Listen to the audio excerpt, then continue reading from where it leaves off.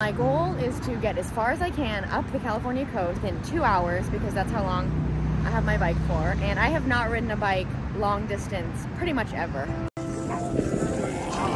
This is so cool.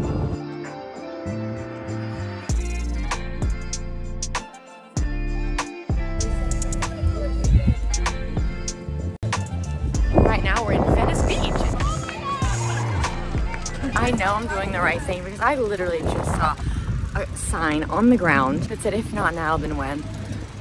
Well,